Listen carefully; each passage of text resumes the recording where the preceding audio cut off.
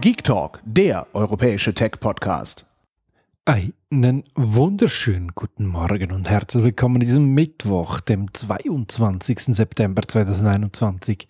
Ihr hört die Geek Talk Daily 1087.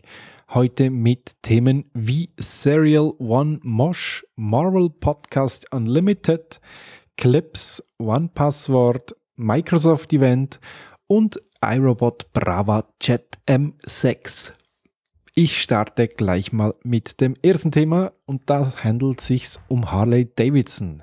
Ja, Harley Davidson hat nicht nur E-Bikes in Form von E-Motorrädern rausgebracht. Wer die Apple TV-Serie Long Way Up noch nicht gesehen hat, dem kann ich das raten. Auch wenn man wie ich nicht unbedingt der größte Fan von Motorrädern und so weiter ist, macht die Serie Spaß beim Zuschauen. Die gewaltigen Bilder von den gewaltigen Aussichten etc., das macht richtig Spaß, das zu schauen die Typen sind mit E-Bikes, also eben E-Motorrädern, so rum, von Südpatagonien bis ganz hoch nach LA gefahren innerhalb von einer gewissen Zeit.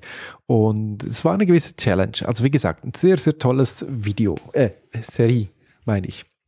Und eben, Harley Davidson hat schon im letzten Jahr ein erstes E-Bike rausgehauen. Also sie haben ihr äh, Sortiment erweitert in dem Sinne. Und jetzt kommt das zweite raus. Es hört auf den Namen Serial One Mush oder Tribute und gibt es nur in ganz weniger Anzahl. Zum einen sind es irgendwie, glaube ich, 650 Exemplare und davon kommen nur knapp die Hälfte zu uns nach Europa. Wer zuschlagen möchte, 5.999 US-Dollar sind es und ich finde es optisch, muss einem gefallen, wie auch immer, logischerweise, aber ich finde es irgendwie noch gelungen. Ach, obwohl, umso länger dass ich mir anschaue, ja, doch, ich finde es gelungen. Es, schaut mal ein bisschen anders aus, ein bisschen was anderes. Gehen wir ein Thema weiter und das ist Apple Podcast. Die haben jetzt einen neuen Kanal gestartet da drin, nämlich den Marvel Podcasts Unlimited. Das ist ein Angebot unter anderem von Sirius XM und Marvel Entertainment und da gibt es verschiedene Podcast, äh, verschiedene Gefäße mit drin, die man sich anhören kann über die unterschiedlichsten Charaktere aus dem Marvel-Universum. Wolverine, Star-Lord, Hawkeye, Black Widow und Dr. Doom etc. und so weiter und so fort. Und da werden verschiedene Gäste wie Rapper, wie äh, Comedians etc. eingeladen, um eben über das Ganze zu sprechen und natürlich auch die eigenen Charaktere, die in dem äh, ja, Marvel-Universum unterwegs sind. Da gibt es wöchentliche Folgen, da gibt es einzelne Folgen, Gespräche etc. Und da kommt auch kostenpflichtiges Material aus, dass man sich dann eben klicken kann mit einem gewissen Entgelt. Ich bin mal gespannt, wie das Ganze anlaufen wird und ob Apple da irgendwelche Zahlen nennen wird und oder Marvel. Clips ist eine zu Unrecht nicht unbedingt allzu stark beachtete iOS-App. Vor allem junge Menschen, die gerne sowas mit TikTok und so lustigen Sachen machen und die eigentlich nicht unbedingt und TikTok und so weiter unterwegs sein sollten.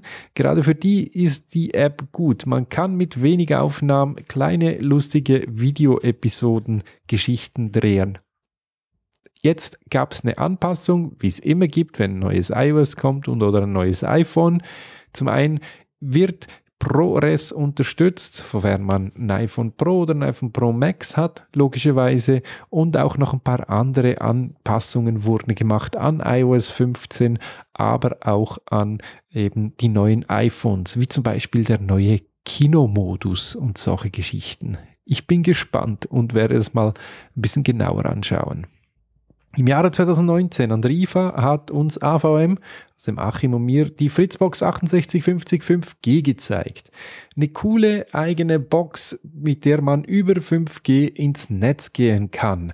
Mit einer guten Datensim und ja, Strom kann man sich da sein eigenes Netz aufbauen, ohne dass man ein Kabel oder DSL etc. Signal braucht. Nun, ist das Gerät endlich in den Handel gekommen. Leider aktuell erst in Deutschland und leider äh, ja nicht hier in der Schweiz. Was ich euch aber sagen kann, ich nutze das Teil seit über einem Dreivierteljahr. Ich habe ein Vorserienmodell von AVM zum ausführlichen Testen zugestellt bekommen und ich bin begeistert davon. Für einen kleinen äh, Zugang ins Netz und solche Geschichten ist es wirklich sehr, sehr cool und praktisch, wie ich finde. Und eben halt mit 5G, niedriger Latenz und auch nach, wenn man den vollen Ausbau bei 5G hat, natürlich dann auch schön Geschwindigkeiten. Das Einzige, was ich mir da drin noch gewünscht hätte, wäre natürlich Wi-Fi 6 gewesen. Aber eins nach dem anderen, würde ich doch sagen. Weiter geht es mit OnePassword. Mit iOS 15 sind die Safari-Erweiterungen gekommen und somit hat OnePassword auch gleich seine Extension rausgehauen für iOS 15 und fürs iPad OS 15. Ich bin bis jetzt immer gut zurechtbekommen, dass ich die Möglichkeit hatte, über ähm, ja, Browser unten drauf zu drücken und dann ging äh, OnePassword auf. Der einzige Vorteil, was die Extension hat, ist, dass man, wenn man neue Konten erstellt, das jetzt direkt im Browser regeln kann und nicht rüberwechseln muss in die OnePassword-App. Es gibt aber auch Nachteile. So ein Vault wird für 15 Minuten geöffnet. Das ist der kleinste Zeitraum, den man wählen kann. Also bei äh, Erweiterungen generell. Und somit bleibt dann der Vault auch für 15 Minuten offen. Wenn man dann das Gerät in andere Hände gibt und so weiter, da sollte man in Zukunft darauf achten und oder auf zumindest diese Erweiterung verzichten. Weiter geht's mit einem Event-Hinweis. Heute Abend wird ja Microsoft seine neuesten Produkte vorstellen, obwohl Produkte, man munkelt ja, dass es in Richtung Surface-Geräte geht. Deshalb sage ich die Produkte in Mehrzahl. Wir werden sehen, was alles kommen wird. Ich werde euch auf jeden Fall in der nächsten Episode ziemlich sicherlich ein bisschen was dazu zu berichten haben. Zu guter Letzt gibt es noch einen Hinweis auf den neuesten Testbericht im pogipsi.ch Blog. Ich habe euch endlich meinen Bericht zum iRobot Brava Chat M6, dem Wish-Roboter, fertig getippt. Den könnt ihr gerne lesen, wenn ihr in die Richtung interessiert seid.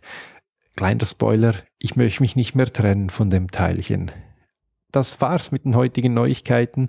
Ich hoffe, ihr habt ein bisschen was mitnehmen können. Solltet ihr Fragen, Rückmeldungen etc. haben, meldet euch doch gerne. Ansonsten habt einen schönen und erfolgreichen Tag und wir hören uns in der nächsten Episode wieder. Bis dann, euer Pokipsi. Tschüss. Hört mehr Geek Talk.